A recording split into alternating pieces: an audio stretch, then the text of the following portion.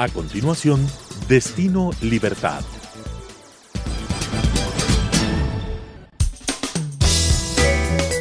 Clasificación B, bajo supervisión de un adulto.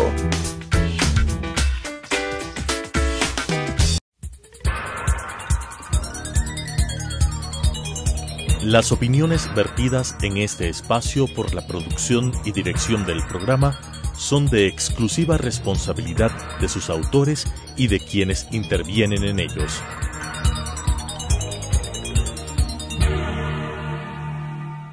Telesucesos Canal 29 UHF presenta Destino Libertad, un espacio de crítica y construcción junto a los protagonistas del ámbito social, cultural, político, entre otros, con propuestas interesantes sobre temas de coyuntura, con la conducción de Cristina Reyes. Destino Libertad. Buenas noches amigos, gracias por acompañarme una vez más en este su programa Destino Libertad, donde abordamos temas diversos que son de interés nacional. En nuestro programa de hoy nos acompaña el director del Fondo de Cultura Económica en Ecuador, con quien conversaremos sobre la reciente Feria del Libro realizada en Guayaquil, la feria a realizarse en Quito, el desarrollo cultural en el país y los planes del fondo en el Ecuador. Es necesario mencionar que el Fondo de Cultura Económica es un grupo editorial creado en México con presencia en América Latina que llegó al Ecuador en el 2015. Ha publicado más de 10.000 obras y como reconocimiento a su labor en los países de habla hispana recibió el premio Príncipe de Asturias de Comunicación y Humanidades. En breve, un perfil de nuestro invitado. Fabián Luzuriaga, director del Fondo de Cultura Económica en el Ecuador, es quien coordina y dirige todas las actividades de la librería Carlos Fuentes, así como la producción cultural de la entidad. Ha estado vinculado a la producción editorial y la difusión de la cultura desde el 2010. Su compromiso con la industria editorial lo ha llevado a ocupar los puestos de presidente y secretario de la Cámara del Libro entre el 2009 y 2017 y a liderar la organización de seis ferias internacionales del libro de Quito. Bienvenido Fabián, gracias por acompañarnos. Buenas noches Cristina, gracias por la invitación. Eh, muy interesante desde abordando eh, tu perfil, 20 años de no abrir ninguna filial en el, en el extranjero, en el 2015 la, décima filial denominada Centro Cultural Carlos Fuentes se abre en Quito. ¿La entidad vio cierto desarrollo eh, interés, o interés en la cultura ecuatoriana para, hacerlo? Bueno, en realidad la apertura de la décima filial de Fondo Cultura Económica de México, obedece a un acuerdo entre, entre países, en este caso México y Ecuador, entre los presidentes Enrique Peña Nieto y Rafael Correa en el año 2013, durante la visita de Peña Nieto al país. Eh, y básicamente con la apertura de la filial cerramos el corredor cultural o el corredor andino eh, con nuestra presencia. Estamos en Estados Unidos, Guatemala, México, Venezuela, Colombia, Ecuador, a Perú, Chile, Argentina, Brasil y España. Y, como vemos es editorial y librería. En la parte editorial, ¿cuáles son los, los, géneros que ustedes han publicado, los autores que ustedes han publicado? Bueno, el Fondo, el Fondo de Cultura tiene ya 85 años desde su fundación. Eh, tenemos un catálogo de más de 10.000 títulos, de los cuales 5.000 obras o un poco más de 5.000 obras son, eh, son obras vivas, quiere decir que lo, el fondo las imprime o las reimprime y constantemente están apareciendo nuevas publicaciones. Y estas publicaciones pues eh, salen en, digamos, en todas las filiales que tienen en, América Latina. Sí, las filiales pues eh, responden a un plan editorial de Casa Matriz. Casa Matriz tiene un plan editorial que comparte con las filiales y las filiales lo que hacemos es nos adherimos, nos unimos a esta, a esta apuesta editorial y pedimos los libros para las distintas casas. Sí, voy a, voy a mencionar una frase del director del Fondo de Cultura de México, José Carreño, eh, que tiene un proyecto de cultura de paz y de acción entre las comunidades y el desarrollo y también los riesgos que puede enfrentar la democracia. Temas preocupantes de actualmente nuestra realidad latinoamericana. En, ese sentido, ¿cómo han abordado ustedes sus publicaciones o los libros que, ustedes tienen? La, presencia del Fondo de Cultura en Ecuador, eh, como dijo nuestro director, eh, se debe a un tema netamente de difusión cultural. El fondo viene a sumar a los esfuerzos de la debilitada industria editorial en el mundo. ¿sí? No, no venimos a quitar o a competir con la industria local, al contrario, venimos a sumar al esfuerzo que tiene la industria editorial de publicar a sus autores, de verse visibilizados en los espacios de librería, por ejemplo, y el fondo también en Ecuador en este momento es un espacio en el que autores, eh, digamos, pueden presentar sus obras en nuestro centro cultural, eh, pueden colocar sus libros en nuestra librería. Y pues hemos venido a sumarnos a este esfuerzo que requiere la cultura en este país. Y jornadas y coloquios temáticos sobre democracia, desde, desde Sí, desde la apertura del fondo, el Fondo de Cultura eh, Económica en Ecuador ha tenido más de 400 actividades, entre ciclos de cine, presentaciones de libro, exposiciones eh, de todo tipo, de fotografía, de artes plásticas, eh, tenemos talleres de escritura, talleres de, lectura, en fin, es una serie de actividades que lo que eh, tratan o lo que queremos hacer es incentivar el hábito de la lectura. ¿Han, pensado en, abrir alguna filial en el Ecuador, en alguna otra ciudad, o desde Quito se opera para Bueno? Este, en este momento hemos firmado un convenio con la Universidad de las Artes y próximamente el fondo estará en Guayaquil con, dos, con dos librerías que la fecha de apertura estaría próxima a concretarse. Son librerías, la una es netamente de literatura juvenil e infantil y la otra es de ciencias sociales, que es prácticamente el, fuerte de la, del ser de, del Fondo de Cultura. ¿Me, puedes contar un poco sobre los concursos que ustedes convocan a poetas, ensayistas, eh, ciencia, entre otros? Eh, ¿Se planifica también tener una edición de premios por cada país en distintas áreas? El, Fondo de Cultura tiene eh, algunos concursos de, escritura, ¿sí? siendo lo más importante A la orilla del viento, que es un concurso de literatura infantil, ¿sí? infantil y juvenil. Eh, casualmente en el año 2014 eh, el premio se otorgó a una edición de un artista ilustrador ecuatoriano que fue Roger Icaza y una afamada escritora infantil, María Fernanda Heredia, ¿sí? eso fue en el año 2014.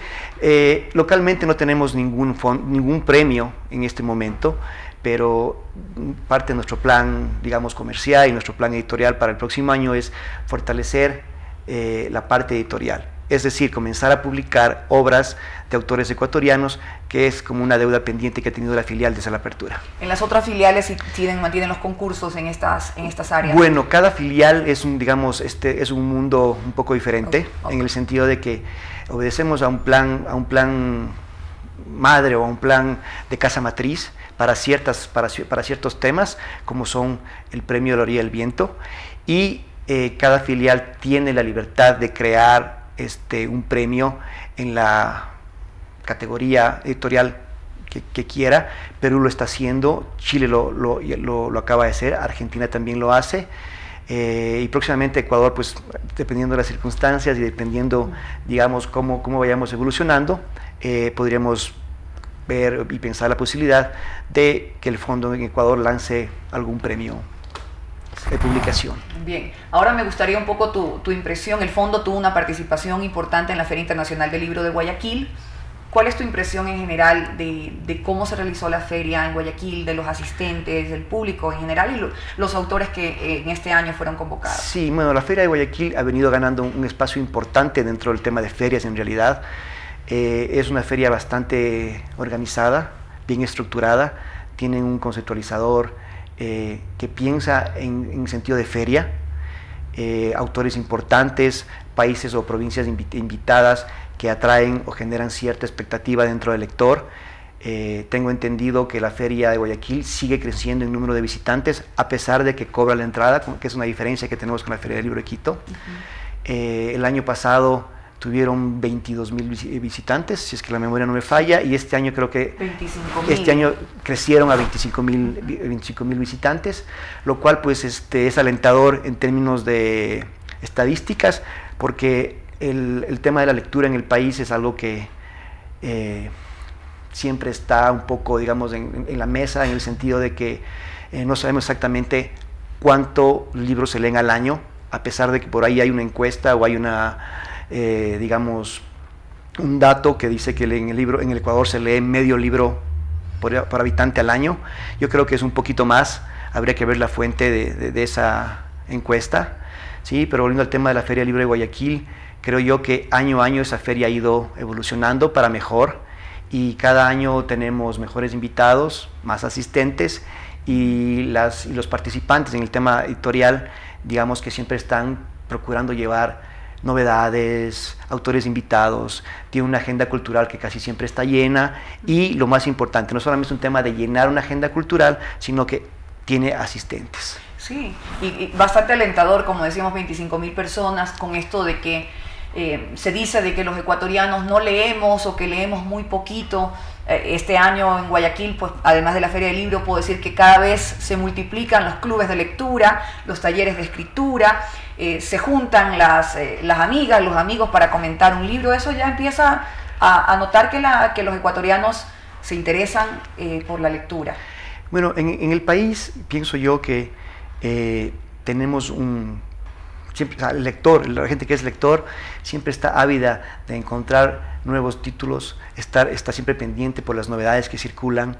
Eh, creo yo que cada día que pasa o cada día eh, que transcurre en el país se generan nuevos lectores y es porque la, digamos, un poco la tendencia de cultivar a los más pequeños, que serán los, los, lectores del mañana, en este caso a los niños, eh, los padres se preocupan por comprarles libros, los padres se preocupan por leerles un cuento en la noche, y eso ha ido haciendo que, eh, digamos, ciertos géneros literarios eh, crezcan en cuanto a la demanda comercial.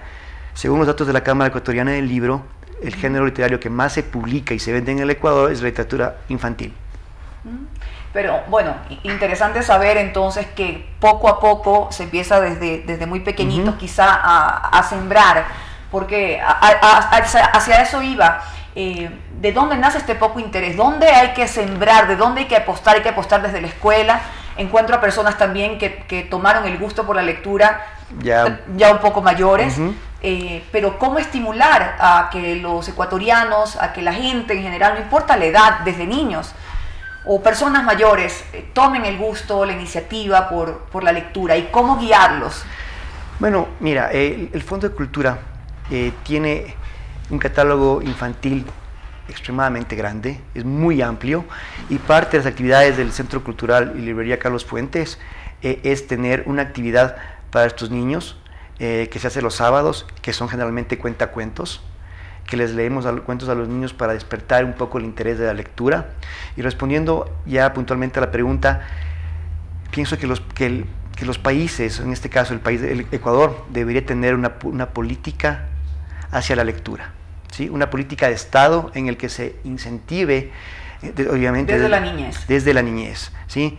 Eh, definitivamente los niños, hijos de padres lectores son lectores, casi siempre.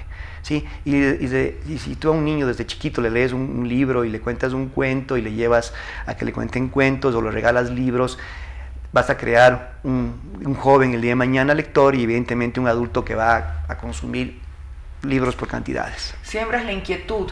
Pero, por ejemplo, si alguna persona que no ha estado interesada en la lectura y quiere eh, le, provoca. ¿Cómo, ¿Cómo guiarlo a decir cuál es el género por el que te debes inclinar?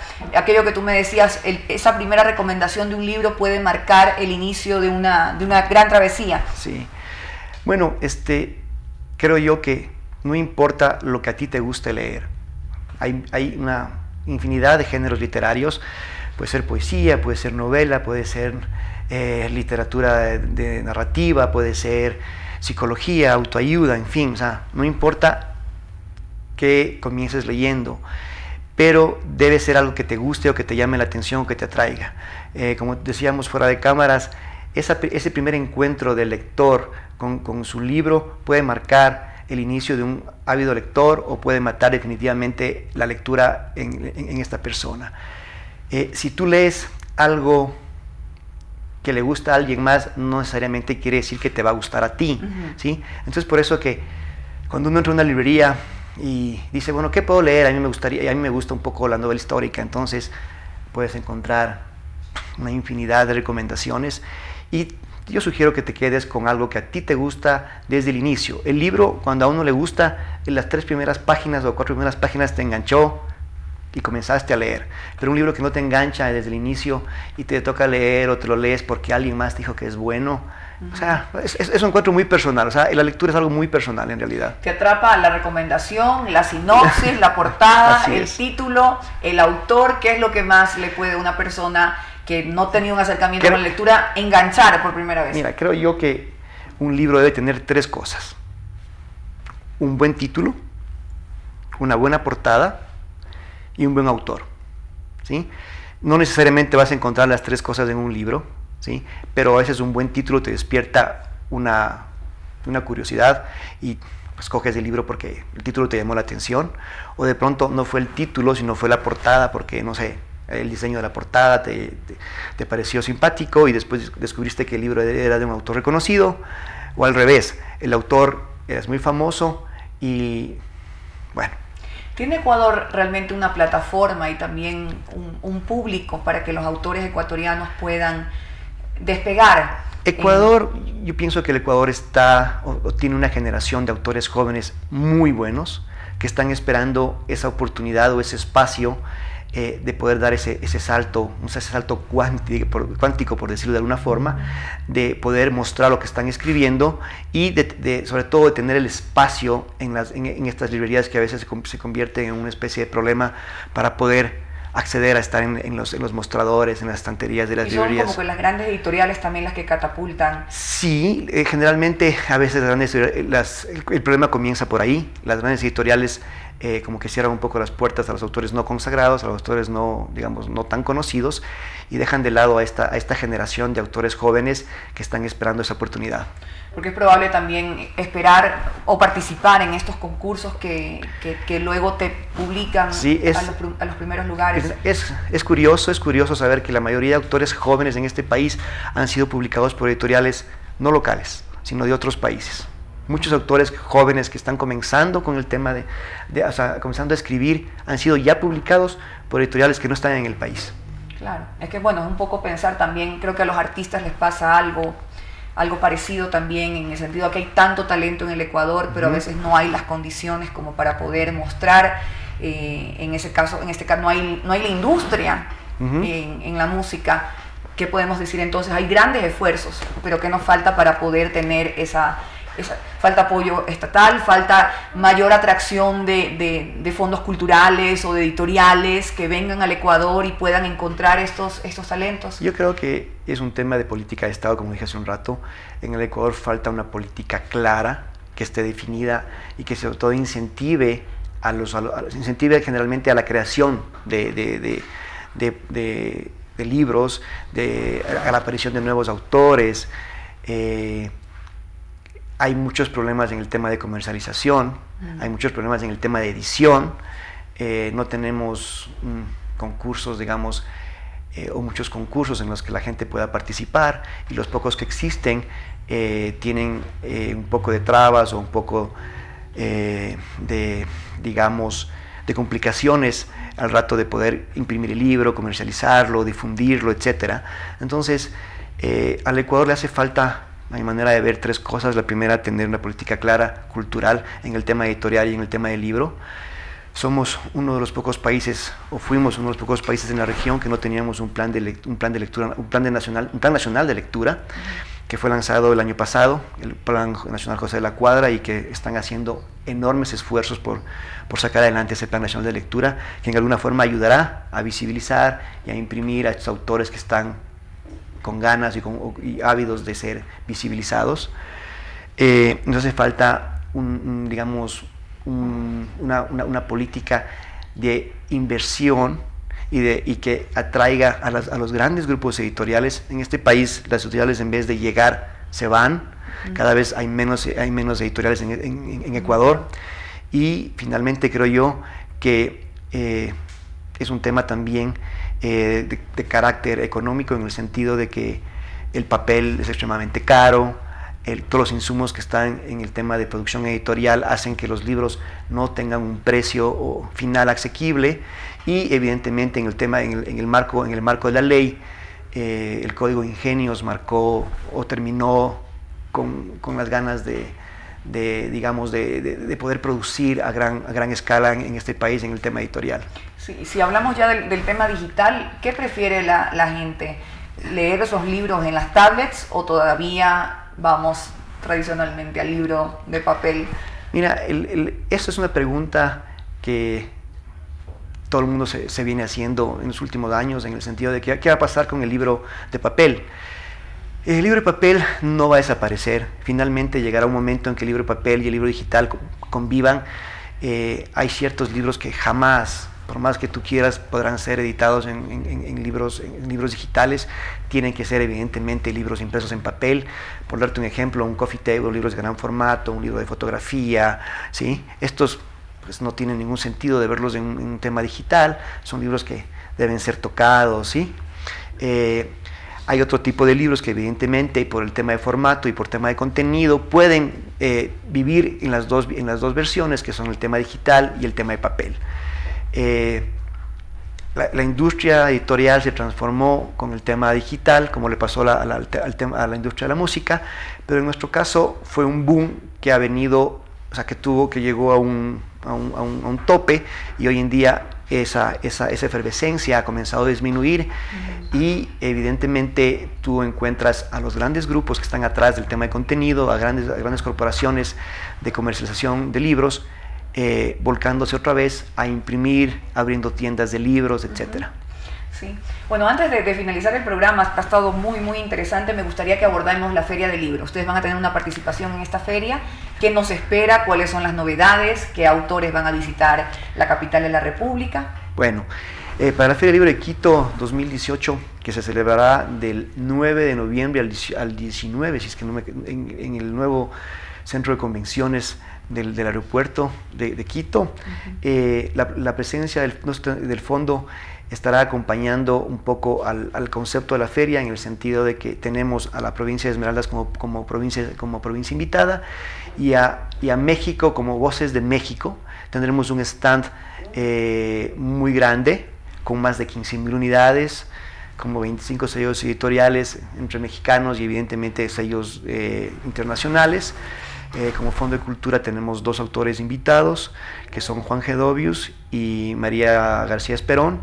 El uno es pues un, eh, autor de ciencias sociales y el otro es un autor de literatura infantil. Eh, y pues la idea es apostar a este esfuerzo que evidentemente es un, es un, gran esfuerzo porque reúne a, todos, a, todo el gremio, a todo el gremio, a todo el sector editorial y tengo entendido que habrán muchas presentaciones de autores que vienen de, otras de, otras casas editoriales. Yo personalmente puedo hablar por el fondo, pero eh, en, la Feria del Libro es, digamos, hoy por hoy el primer o el, evento cultural más importante de la ciudad. Sí. esperamos que sea, que sea todo un éxito y que, mucha gente vaya. Y evidentemente pues, también esperamos crecer en, en visitantes eh, cada año sé que la feria ha crecido en números de, expositores, este año hay más expositores que el año pasado. Es una, una, feria que tiene una connotación un poco diferente a la feria de Guayaquil. Es gratuita. Es una feria gratuita, eh, tiene una... ¿Habrán ediciones, eh, digamos, con, un poco más asequibles a la gente, estas ediciones que son de bolsillo? Que... Entiendo que los, los, los, grupos editoriales o las editoriales y librerías que participan pues ponen sus, sus mejores esfuerzos para poner eh, un tema de novedades. Y además hay una noche de libro, la noche de libro que es una fiesta en el sentido de que todos los stands dan un descuento en, todas las, en, todos los libros y que pues, incentiva a que, los a, que los, a que los compradores o visitantes puedan comprar sus libros favoritos a buenos precios finalmente proyectos a mediano o largo plazo del fondo? Bueno, este rato como Fondo de Cultura, el, proyecto más importante que tenemos para el próximo año es la, apertura de estas dos librerías en, Guayaquil y con eso hoy es, es, bastante ya, es bastante trabajo y evidentemente no descuidar la, nuestra agenda y nuestras actividades culturales que tenemos todos los meses, pues lo que habíamos conversado hace un momento, que son cuentacuentos, eh, presentaciones de libros, talleres, exhibiciones de fotografía, pintura, etcétera, ¿no? Bueno, Fabián, muchas gracias por tu participación en este programa, por apostar a la cultura, por pensar en, el Ecuador. Gracias a ti, Cristina, por la invitación y pues que se repita. se repetirá y ustedes cordialmente invitados para asistir a la Feria Internacional del Libro aquí en la capital de la República. Con esto hemos llegado al fin de esta edición de Destino Libertad. Ya saben que sus comentarios, sugerencias, si tienen alguna pregunta, nos quieren sugerir algún invitado, pueden hacerlo en las redes sociales que aparecen aquí en pantalla. Eh, nos vemos en una próxima edición. Recordar siempre, tanto el amor como la libertad se construye todos los días. Soy Cristina Reyes, hasta la próxima.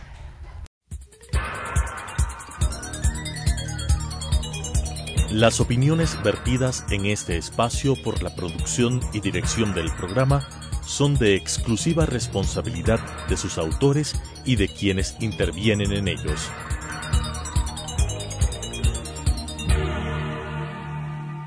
Telesucesos Canal 29 UHF presentó Destino Libertad, un espacio de crítica y construcción junto a los protagonistas del ámbito social, cultural, político, entre otros, con propuestas interesantes sobre temas de coyuntura, con la conducción de Cristina Reyes. Destino Libertad